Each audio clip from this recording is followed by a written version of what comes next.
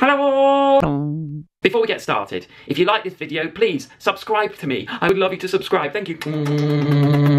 Top 5. A lovely, lovely YouTuber called Zingcat who has a lovely channel. He suggested that I do the top 5 challenges of being an actor. And you know I like to keep it real.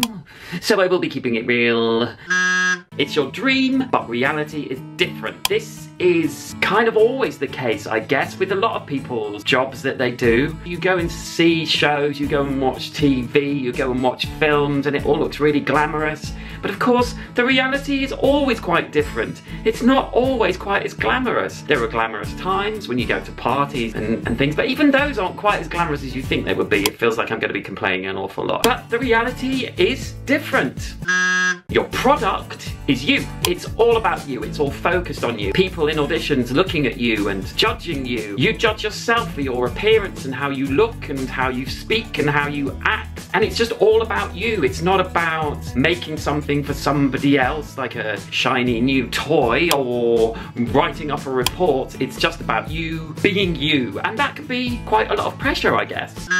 You are only as good as your last audition. And I mean this even when you're working. Like, even when I was doing Les Mis, I was only as good as that audition for Les Mis. And when you leave a job, you have to start all over again. And if you go in and an audition and you're not feeling great or you just muff it up, that's it. You won't get the job. I mean, sometimes, you know, with Les Mis, like I've done it before, so they knew me. But even so, I had to go and audition and I had to nail it. It's all about that five, ten minutes when you're in that room. Again, that can put quite a lot of pressure on people. It's actually a lot about pressure. Pressure is tough, isn't it? Being out of work. The majority, I would probably say, I mean, it must be like 98% of actors. You are out of work quite a lot.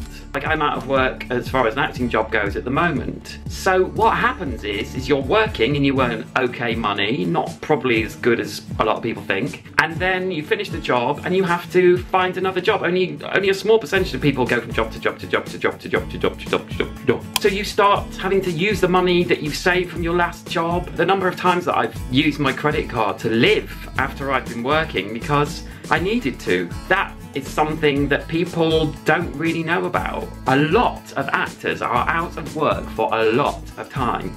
Last year, you know this, you guys that have been following me from right from the start, I was out of work for eight months last year. And then I got lovely jobs, which was awesome and made it all better. But it's really hard when you're out of work.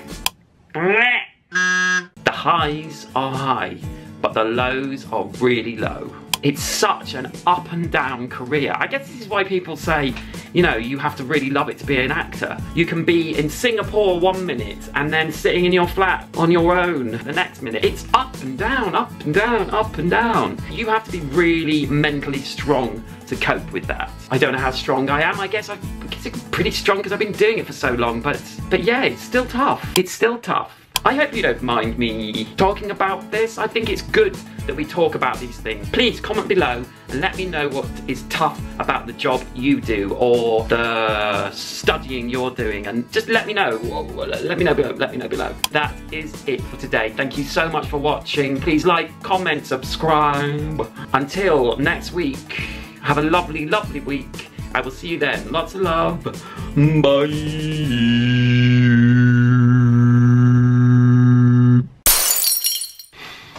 Ding ding ding ding ding ding ding ding ding ding ding ding. Ding, ding. Okie dokie, okie dokie, okie dokie.